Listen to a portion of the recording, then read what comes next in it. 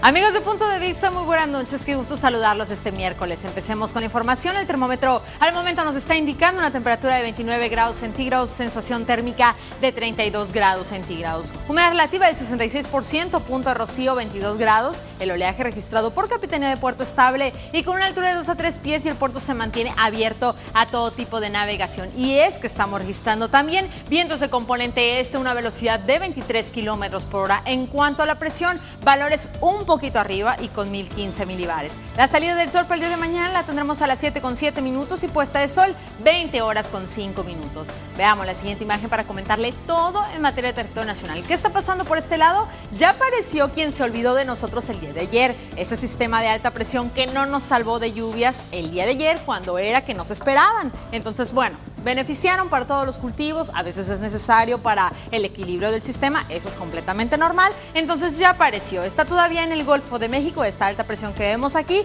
y beneficia con termómetros bastante cálidos y empieza a disminuir las probabilidades de precipitación a lo largo del noreste y vertiente oriental. Por este mismo lado tenemos dos canales de baja presión, así como el día de ayer, y son en total tres a lo largo de la República Mexicana, pero por este lado tenemos uno a lo largo de la península de Yucatán, esa línea punteada que vemos ahí, y otro que alcanza parte de Centroamérica y parte de Chiapas. Hasta puedo decirle que parte de Oaxaca también. Esos dos canales de baja presión, de una manera muy general, van a generar nublados, condiciones también de algunos nublados parciales, en menor proporción en algunas zonas de estas entidades, pero a fin de cuentas nublados parciales incrementa las probabilidades de precipitación y también tormentas eléctricas a lo largo de Campeche, Yucatán y en Quintana Roo son de una forma más aislada, pero también pueden registrar algunas precipitaciones Hacia este lado tenemos el tercer canal de baja presión extendiéndose a lo largo del noroeste, occidente y extendiendo efectos hasta el centro y casi casi sureste de territorio nacional. Esto con el ingreso de humedad que tenemos de parte del Pacífico al interior de la República Mexicana genera precipitaciones, chubascos, actividad eléctrica, viento, granizo. Granizo a lo largo de occidente, centro y en algunas partes del sureste porque tenemos también la onda tropical número 27 en donde, si usted me lo pregunta,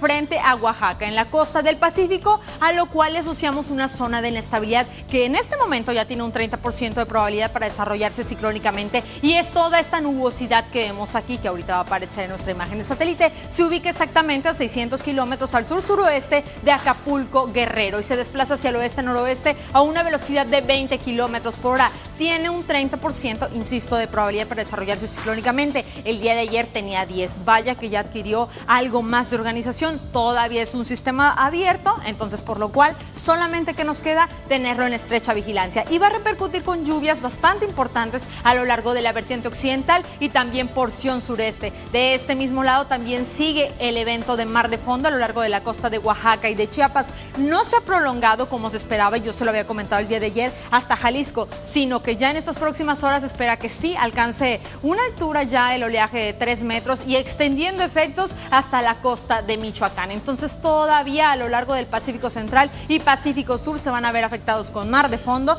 y a lo largo de estas entidades precipitaciones, viento y potencial de granizo. Hasta aquí la primera parte de la información. Los espero con más detalles en la segunda sección del pronóstico del tiempo y me despido agradeciendo mi gentil patrocinio. Como cada noche usted ya lo sabe que si quiere verse in, todo lo encuentra en Monami Boutique. Gracias.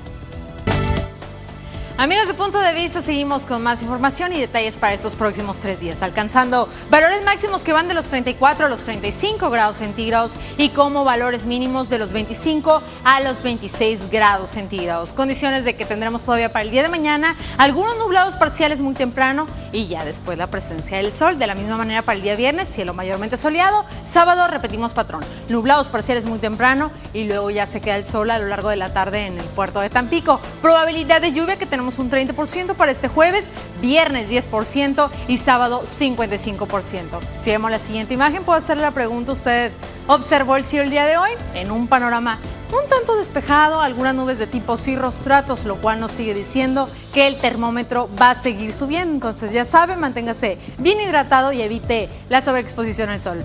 Esto ha sido todo el pronóstico del tiempo que pasé. Una excelente noche. Mi nombre es Deyanira Alvarado y para mí fue un placer haberle informado. Gracias.